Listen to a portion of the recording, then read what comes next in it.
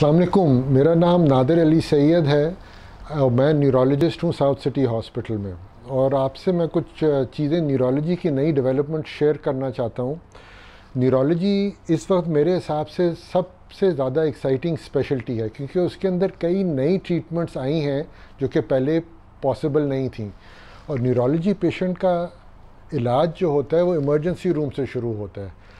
Neurology की बीमारियाँ बहुत हसास होती हैं और टाइम सेंसिटिव होती हैं। अब उसके अंदर बीमारियाँ हैं, जैसे मिर्गी एपिलेप्सी उसके अंदर सीजर्स होते हैं। उसके अंदर ज़रूरी है कि within five to ten minutes इलाज किया जाए, वरना परमानेंट इंजरी हो सकती है। एक और बहुत आम बीमारी स्ट्रोक या फालिज जिसके अंदर ब्रेन में क्लॉट आ जाता है। उसकी भी अब ट्रीटमेंट्स हैं जो कि within the emergency room within ten minutes उसके प्रोटोकॉल्स इनिशिएट किए जा रहे हैं। और जो आम बीमारियाँ हैं जैसे मैनजाइटिस गर्दन तोड़ बुखार आपने सुना होगा वो ब्रेन ईटिंग अमीबा भी आजकल काफ़ी लोगों को हो रहा है और, और काफ़ी ख़तरनाक बीमारियाँ हैं। इन सब बीमारियों में within minutes and hours treatment शुरू करनी पड़ती है।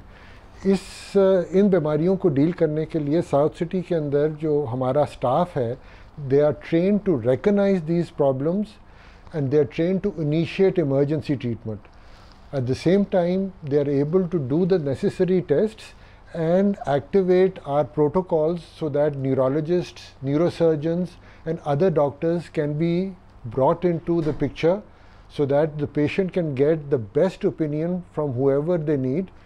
और अगर कभी कभी ऐसे पेशेंट्स में कार्डियक प्रॉब्लम्स हों या किडनी की प्रॉब्लम्स हों तो ये सारी हमारी एक टीम एक्टिवेट होती है और कोऑर्डिनेटेड केयर के थ्रू बेस्ट आउटकम्स इंश्योर करते हैं इसके लिए हमें काफ़ी टेस्ट की भी ज़रूरत है कुछ बड़े कॉम्प्लिकेटेड टेस्ट भी हैं जैसे एनजियोग्राफी हो गई MRI, CT scan EEG, spinal tap and at South City we are fully equipped to deal with all of these evaluations in order to provide the best outcome for our patients.